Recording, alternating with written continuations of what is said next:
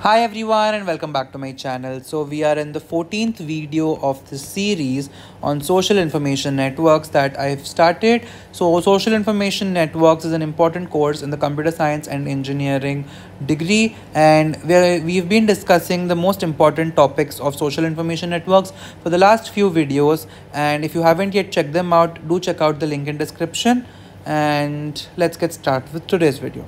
So today we are going to discuss what clustering is and what clustering coefficient is. So clustering coefficient which is also known as transitivity.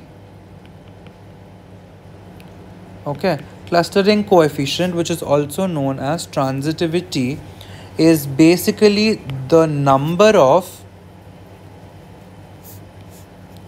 the number of closed triplets of nodes. So the transitivity is basically defined for a for a given node. So for any given node the number of closed triplets uh, of nodes in the neighborhood in the neighborhood divided by the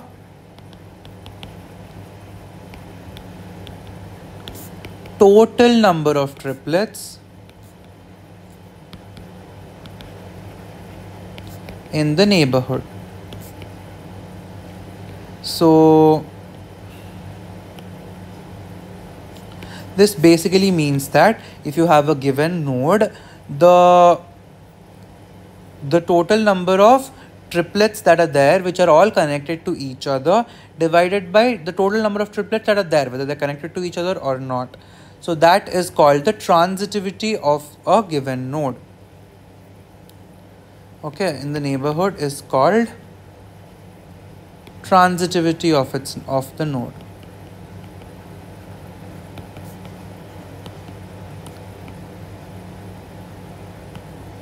So basically for a given node, the number of closed triplets of nodes in the neighborhood divided by the total number of triplets that are there in the neighborhood is the transitivity. It's called transitivity of that node. So for a given node, the number of closed triplets of nodes that are there in the neighborhood divided by the total number of triplets that are there in the neighborhood is called its transitivity. Okay. Now, let us look at an example.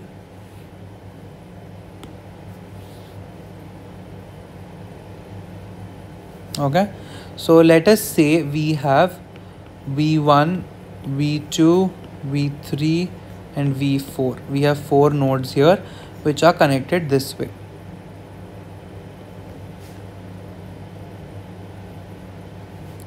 Which are connected like this. Okay. Now if we want to calculate the clustering coefficient or the transitivity transitivity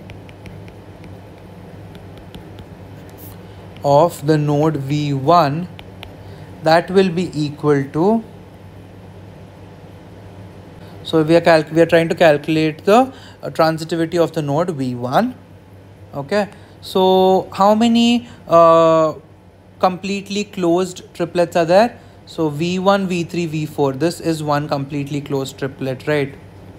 And this is the only completely closed triplet in which V1 is a part of right so the numerator will be 1. Total number of closed triplets. Now, what are the total number of triplets that are there? There is V1, V2 and V4. 1 plus there is V1, V3, V4 which we already counted for the numerator and there is V1, V2, V3. So this is 1. So this is basically 1 by 3. So the transitivity of V1 in this given graph of the node V1 in this given graph is 1 by 3 because the numerator is the number of closed triplets. So there is only one closed triplet which is V1, V3, V4 and divided by the total number of triplets that are there. So there are three triplets that are there V2, V1, V3, V3, V1, V4 and v1 uh,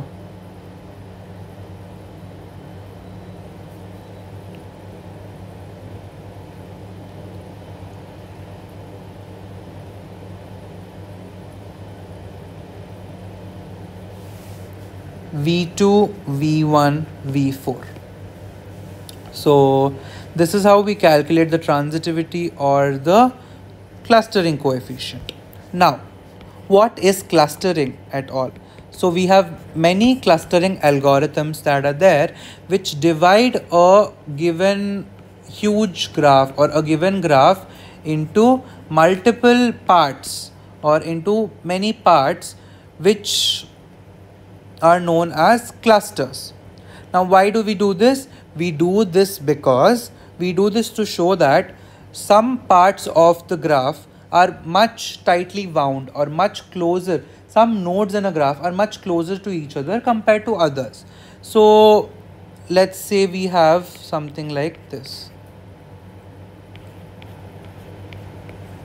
Okay, so if we have uh, if we have a graph like this we, we can visually also see that this part is much closer these three nodes are much closer to each other compared to their uh, closeness with these three nodes. And similarly these three nodes are closer to each other compared to the nodes in the first cluster or the first part.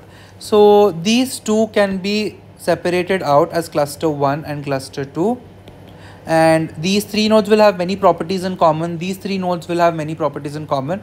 So we do this to understand and to study the nodes that are there or the uh, participants that are there in our graph network better so many algorithms that help us understand how clustering uh, uh, can be done or how uh, the different ways in which different clusters can be formed. There are different algorithms that are used to do this clustering uh, method. And we will be discussing a few of these methods in our upcoming videos. So stay tuned to that. And that's all i had for this video. We've discussed clustering coefficient that is transitivity and what clustering and clustering algorithms are. You have algorithms like k-means you have agglomerative clustering and you have a lot many methods which we will be discussing in the further videos. So that's all i had for this video. Thank you guys for watching. If you did get to learn something from this video do like share and subscribe. And thank you for watching